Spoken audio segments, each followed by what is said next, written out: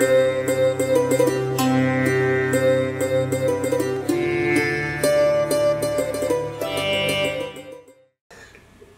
में खिन्नता रहेगी।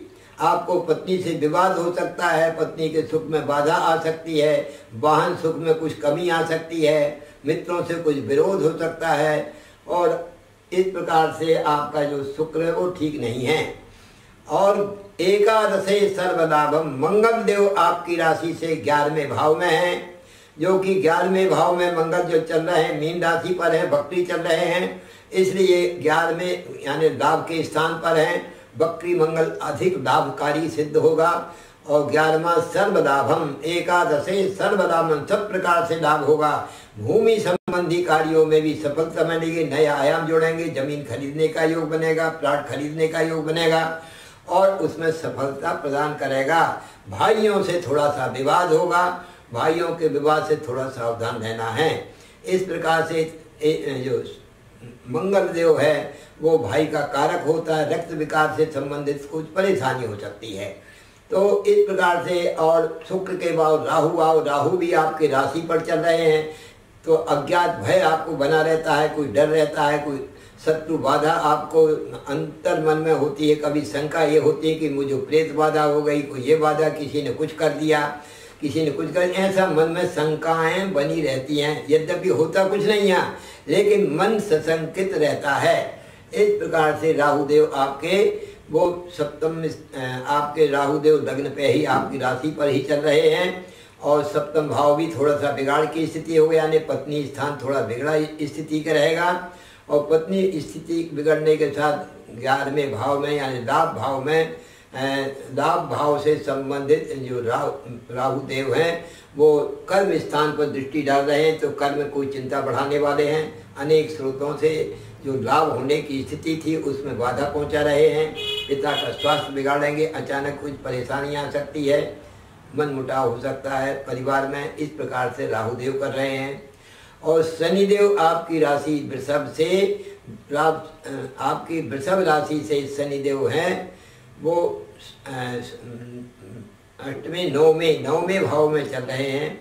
नवमें भाग्य वृद्धिश्चय यानी नवम भाव में जब शनि चल रहे हैं तो क्या करते हैं? नवम भाव में शनि भाग्य का स्थान हो तो ना वहाँ पर पूर्ति कर रहे हैं। भाग्य की स्थिति को अच्छी मज़बूत बना रहे हैं, धार्मिक तत्व ज्ञान की ओर अग्रसर कर रहे हैं।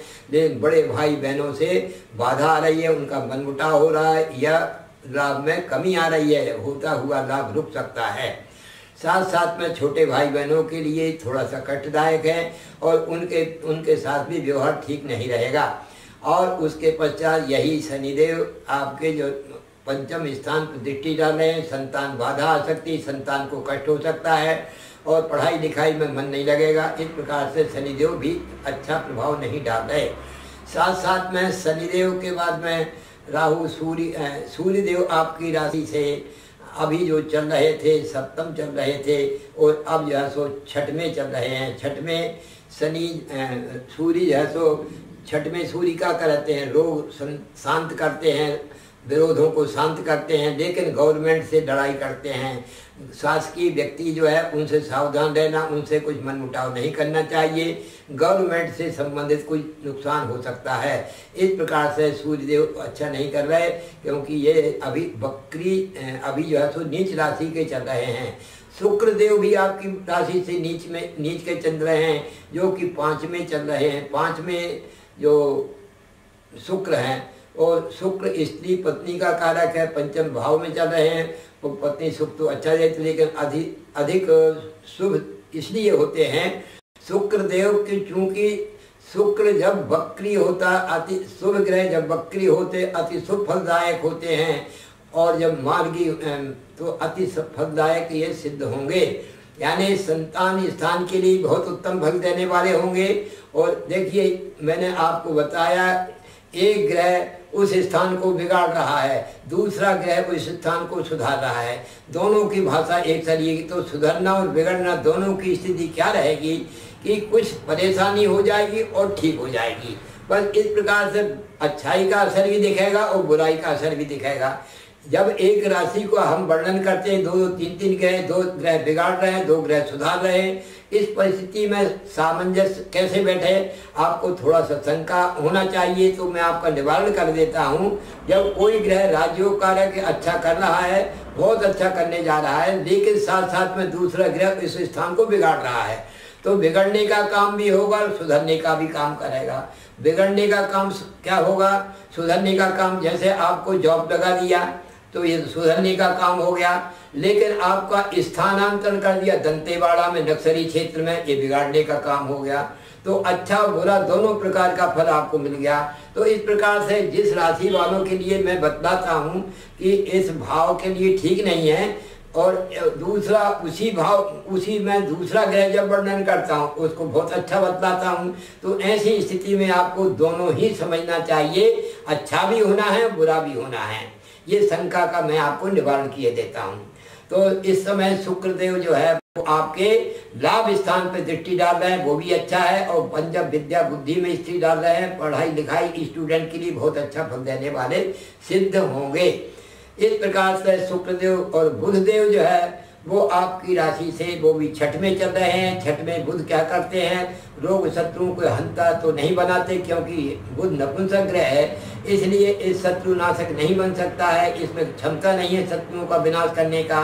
खुली किताब है, आप शत्रु आइए, रोग आइए, उन सब का आवाहन करता रहता है, इसलिए थोड़ा सा बुध और व्यापार में विशेष हानि करते हैं कि व्यापार में विरोध कराते हैं। व्यापारी जनों में परस्पर विरोध होगा। इस प्रकार की संभावना ये दिख रही है।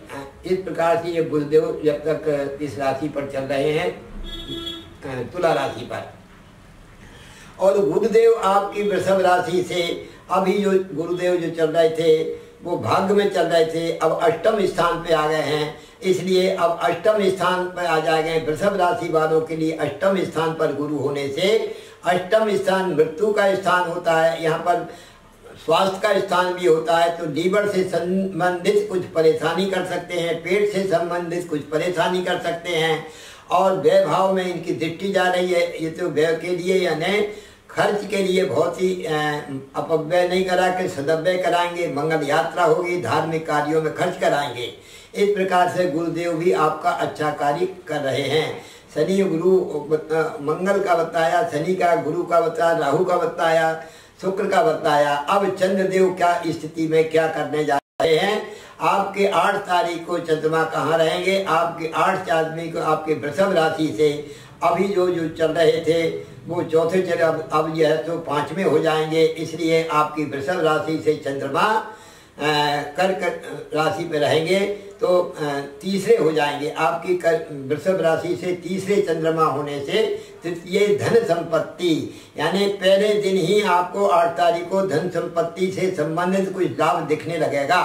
और उसके बाद चतुर्थे कलहागमा, और उसके बाद नौ और दस तारीख को कलहकारी वातावरण चतुर्थ चंद्रमा हो जाएँगे। तो मित्रों से विरोध होगा शत्रु बाधा आएगी और माता को कष्ट होगा। कुछ मन मुटाव रहेगा, मन में खिन्नता रहेगी, मन प्रसन्न नहीं रहेगा। तो ये नौ और दस तारीख का हिसाब बताया और ग्यारह और बारह तारीख को यही चंद्रमा आपके जैसो जो, आपकी राशि से जब तीस, चौथे हो जाएँगे तो रहेंगे पाँच में हो जाएँगे।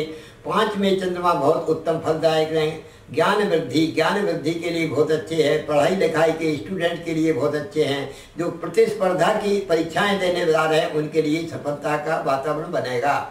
और तेरह और चौदह तारीख को यही चंद्रमा आपके जो है सो जब पंचम हो जाएँगे तो उसके बाद छठ में चंद्रमा हो जाएँगे आपकी राशि से। तो छठ में चंद्रमा, व्याधि समायुक्ता। यानी चौदह तारीख को कुछ व्याधियाँ आ सकती हैं। इस प्रकार से पूरे सप्ताह भर आपके वृषभ राशि वालों का मैंने वर्णन किया। मंगल कामना करता हूँ कि आपका भविष्य उत्तम रहे। हरिओ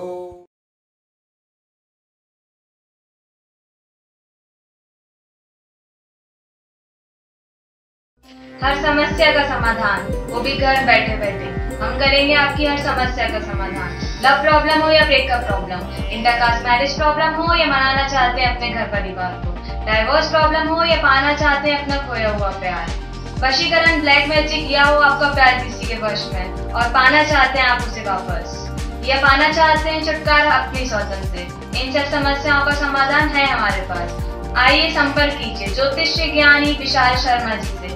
अधिक जानकारी के लिए विज़िट करें हमारा यूट्यूब चैनल ज्योतिष ज्ञानी। और संपर्क करें। हमारा कॉन्टेक्ट नंबर है seven eight two eight nine one triple two nine धन्यवाद।